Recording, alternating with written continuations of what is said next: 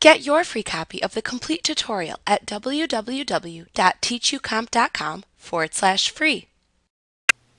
Photo Merge allows you to take two or more photos and merge specific elements into a single image. If you have several photos of a group of individuals, you can merge elements such as a person or people from one or more of the photos together into the perfect group shot.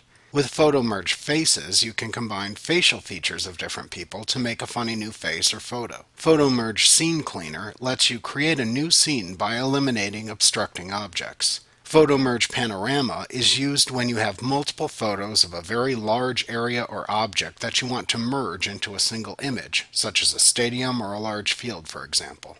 Photo Merge Exposure allows you to merge your photos and retain only the best exposed parts from each. The Photo Merge Style Match allows you to merge a photo style onto another photo.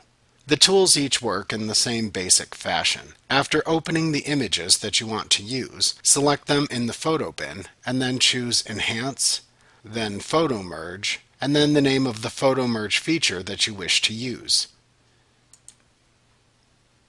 Drag a photo to use as the final image from the photo bin into the final window. Depending on the photo merge feature you are using, there will be specific instructions under the photo merge pane on the right hand side of the screen. For some of the tools, you simply use the pencil tool to make the selections from the images that you want to transfer or merge into the new image. You can use the eraser tool to erase any parts that you selected that you don't wish to keep. For other photo merge tools, you simply use the options that appear within the right pane to make your desired adjustments.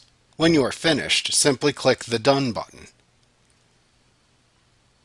Like what you see? Pick up your free copy of the complete tutorial at www.teachucomp.com forward slash free.